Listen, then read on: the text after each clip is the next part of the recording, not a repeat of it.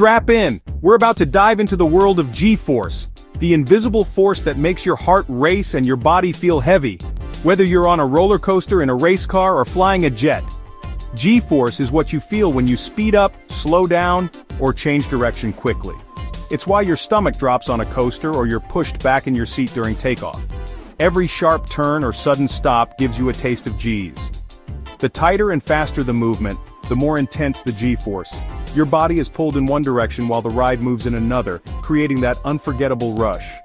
1G is the normal pull of gravity you feel just standing on Earth. But in a jet or race car, you can feel several times your body weight. Fighter pilots and astronauts can experience up to 9 Gs, like having a baby elephant on your chest. It's not just thrilling, it can be dangerous if you're not trained. At high Gs your vision can blur, your face feels heavy, and you might even pass out, called G-LOC, when blood leaves your brain. That's why pilots and astronauts train in spinning machines called centrifuges. They learn special breathing and muscle tensing techniques to keep blood in their brains and stay conscious.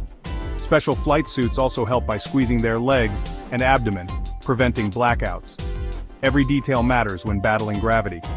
You can feel G's on the ground too, on roller coasters, in race cars, or even on spinning playground rides. For the wildest G-force experiences, rockets and jets take it to the extreme. But next time you're on a thrill ride, remember, you're feeling the same science and thrill of G-force in action.